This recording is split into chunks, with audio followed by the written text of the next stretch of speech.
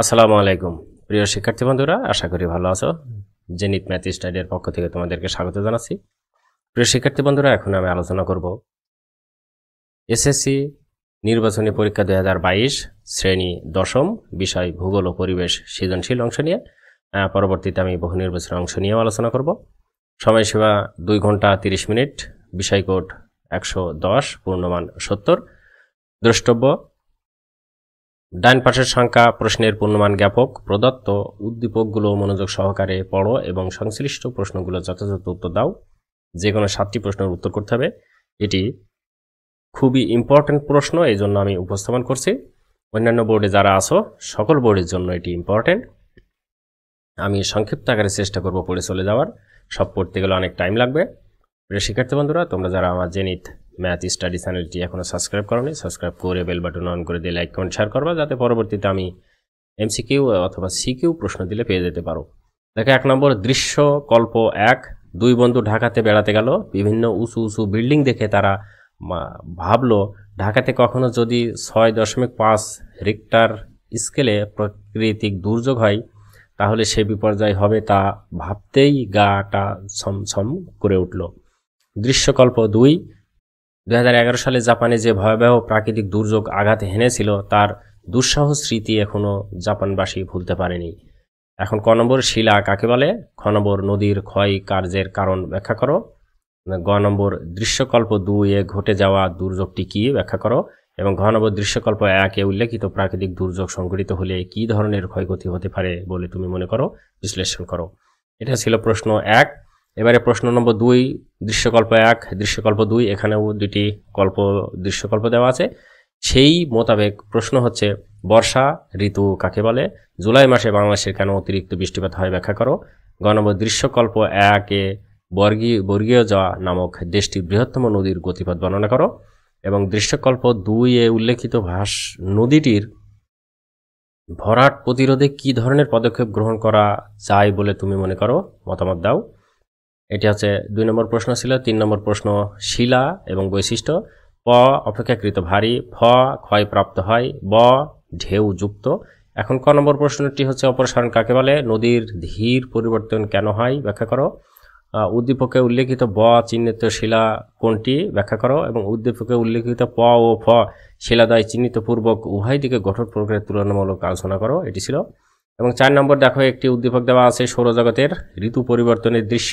এটা ক নম্বর গতি কাকে বলে? খ নম্বর ঋতু কেন পরিবর্তিত হয় ব্যাখ্যা করো এবং চিত্রে প্রদর্শিত এম চিহ্নিত তারিখে দক্ষিণ গোলার্ধে কিরূপ ঋতু বিরাজ করে ব্যাখ্যা করো এবং চিত্রে প্রদর্শিত এন ও পি অবস্থানে পৃথিবীর উত্তর গোলার্ধের ঋতুদ্বয়ের মধ্যে পরিলক্ষিত পার্থক্য সমূহ জনজীবনে কিরূপ প্রভাব ফেলে?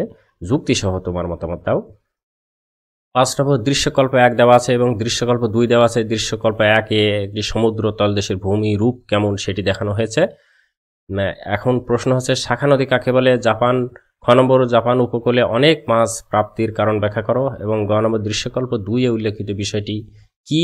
তার কারণ ব্যাখ্যা করো এবং ঘ নম্বর দৃশ্যকল্প একে উল্লেখিত ক ও খ চিহ্নিত পূর্বক ভূমিরূপ দুটি তুলনামূলক আলোচনা করো। এখন সেট ক্ষয়ে আছে কেউড়া এটিকে বলছে ছয় নম্বর প্রশ্ন। শিক্ষক শ্রেণীতে বললেন, পৃথিবীতে চারদিকে বিশেষ একটি বেষ্টনী রয়েছে, এটি এটি আরও অনেক আছে, এটি উদ্দীপক। এখন ক নম্বর প্রশ্ন, নিয়ত কাকে বলে? এটা মনে রাখতে হবে, নিয়ত কাকে বলে? নিয়ত বায়ু কাকে বলে? তিব্বতে কেন বৃষ্টিপাত হয় না? ব্যাখ্যা করো। উদ্দীপকে কোনো বেষ্টনের কথা বলা হয়েছে? ব্যাখ্যা করো। উদ্দীপকে উল্লেখিত স্তর দুটির মধ্যে কোন স্তরটি পৃথিবীর জলবায়ুর পরিবর্তনের জন্য দায়ী বলে তুমি মনে করো? যুক্তি দাও। এবং আছে সাত নম্বর প্রশ্নটি, যেটি, সেটি আছে দৃশ্যকল্প এক এবং দৃশ্যকল্প দুই। এখানেও একই রকম দৃশ্যকল্প দেওয়া। এখন আট নম্বর প্রশ্ন এটি সৌরজগতের অংশ বিশেষ দেওয়া আছে। নক্ষত্র কাকে বলে? উল্কা কেন ওঠে? উল্কা কেন জ্বলে ওঠে ব্যাখ্যা করো। উদ্দীপকে উল্লেখিত এক্স চিহ্নিত গ্রহটি ব্যাখ্যা করো এবং উদ্দীপকে উল্লেখিত ওয়াই ও জেড চিহ্নিত গৃহ দুটির মধ্যে কোনটিতে প্রাণী বসবাসের উপযোগী? যুক্তিসহ তোমার মতামত ব্যাখ্যা করো। নয় নম্বর প্রশ্ন, ঋতু পরিবর্তন। এ, কালবৈশাখী ঝড়, বজ্রপাত। বি, তাপমাত্রা খুব কম। সি, প্রচুর বৃষ্টিপাত সংঘটিত হয়। এবং ক নম্বর টিলা কাকে বলে? শুষ্ক মৌসুমে নৌ চলাচল ব্যাহত হয় কেন ব্যাখ্যা করো। এই প্রশ্নগুলো আছে, তোমরা দেখে নিবা। দশ নম্বর দেখো, দৃশ্যকল্প এক, দৃশ্যকল্প দুই, এটিও দুটি উদ্দীপক দেওয়া আছে। ক নম্বর, প্রাকৃতিক ভূগোল কাকে বলে? প্রাকৃতি ও প্রকৃতি ও পরিবেশ পরি- প্রতিনিয়ত পরিবর্তিত হয় কেন ব্যাখ্যা করো। দৃশ্যকল্পে একে, উল্লেখিত ঘটনাটি কোন পরিবেশকে নির্দেশ করে ব্যাখ্যা করো। দৃশ্যকল্প দুয়ে উল্লেখিত ইউ এবং ভি চিহ্নিত পূর্বক কোনটি নগরায়নের ক্ষেত্রে বিশেষ ভূমিকা পালন করে, তোমার মতামতের পক্ষে যুক্তি দাও। এগারো নম্বর প্রশ্ন, দৃশ্যকল্প এক এবং দৃশ্যকল্প দুই, এখানেও দুটি দৃশ্যকল্প আছে। এখন মানচিত্র কাকে বলে? জমি কেনা বেচা করতে জিপিএস গুরুত্বপূর্ণ কেন? ব্যাখ্যা করো। দৃশ্যকল্প একে রানুর ঘড়ির কাটার সময় কমানো কোন নিয়ম, বিষয়কে নির্দেশ করে ব্যাখ্যা করো। দৃশ্যকল্প দুয়ে উল্লেখিত মানচিত্র দুটির মধ্যে কোন মানচিত্রটি দেওয়ালে ঝুলিয়ে রাখা যায় বলে তুমি মনে করো? যুক্তি মতামত দাও। এই ছিল এগারোটি মোট প্রশ্ন। আশা করি বুঝতে পেরেছ। এগারোটি প্রশ্ন আমি ছোট করে দেখানোর চেষ্টা করছি, যাতে তোমরা এটি যশোর বোর্ডের প্রশ্ন অবশ্যই, এবং যশোর বোর্ডের প্রশ্ন সকল বোর্ডের জন্য ইম্পর্টেন্ট তোমরা এটি স্ক্রিনশট দিয়ে নিতে পারো, সমস্যা নেই। স্ক্রিনশট দিয়ে নিলে কি হবে? সুবিধা হবে তোমাদের সুন্দর করে পড়ার জন্য ওকে এবার এটি। এখন আমি চলে যাব বহু নির্বাচনীতে। খেয়াল করো, এটি হচ্ছে বহু নির্বাচনী প্রশ্ন, এটিও ঠিক এক, নির্বাচন পরীক্ষা দুই হাজার বাইশ, শ্রেণি দশম, বিষয়, ভূগোল ও পরিবেশ বহু নির্বাচনী। বিষয়কোড একশো দশ, পূর্ণমান তিরিশ সময়সীমা, তিরিশ মিনিট বিশেষ দ্রষ্টব্য। সর্বরাকৃত বহু নির্বাচনী অভিজ্ঞার উত্তরপত্র প্রশ্নের ক্রমিক নম্বরের বিপরীতে প্রদত্ত বর্ণ সম্বলিত বৃত্তসমূহ হতে সঠিক ও সর্বোৎকৃষ্ট। ও উত্তরের বৃত্তটি বল পয়েন্ট কলম দ্বারা পূর্ণ ভরাট করতে হবে। প্রতিটি প্রশ্নের মান এক, প্রশ্নপত্রে কোনো প্রকার দাগ চিহ্ন দেওয়া যাবে না এটি। বৃত্ত, বৃষ্টিপাত কাকে বলে? আমি তোমাদেরকে দেখাচ্ছি, তোমরা সুন্দর করে প্রশ্নটি দেখে নিবা। আমি সব পড়তে পারছি না, কেননা এত সময় ধরে পড়ান চেয়ে তোমরা যদি আমি একটা ছোট করে দিয়ে তোমরা এগুলো দেখে নাও, তাহলে সেটাই বরং ভালো হয়। তাই আমি ছোট করে দিচ্ছি তোমরা দেখে নিবা। ওকে।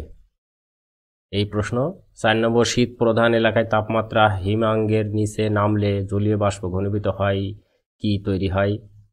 পরিবেশ কত প্রকার? এটি গেল আর এফ এর ফুল মিনিং কি? এটা গেল পনেরো পর্যন্ত, তারপরে বাকিটুকু এখানে আছে দেখো, সাতাশ পর্যন্ত আমি দেখানোর চেষ্টা করছি। পরবর্তীতে তোমরা এটা দেখে নিবা। এই যে বাকি তিরিশ পর্যন্ত হয়ে গেল, এখন এই যে মোট প্রশ্নই ছিল এটা। আশা করি প্রশ্নগুলো তোমরা দেখেছ। আমি আরও ছোট করে তোমাদেরকে এখন সুবিধা, স্ক্রিনশট দেওয়ার জন্য একটু সুবিধা করে দিচ্ছি। দেখো, এ হচ্ছে প্রশ্ন। প্রশ্নগুলো খুবই ইম্পর্টেন্ট সকল বোর্ডের জন্য, এটি যশোর বোর্ডের প্রশ্ন, আজকে পরীক্ষা অনুষ্ঠিত হয়েছে। প্রিয় শিক্ষার্থী বন্ধুরা, এই ছিল মোট আমার আলোচনা, আশা করি ভালো লেগেছে। পরবর্তী অন্যান্য প্রশ্ন নিয়ে আলোচনা করব। ভালো থাকো, সুস্থ থাকো, আল্লাহ হাফেজ।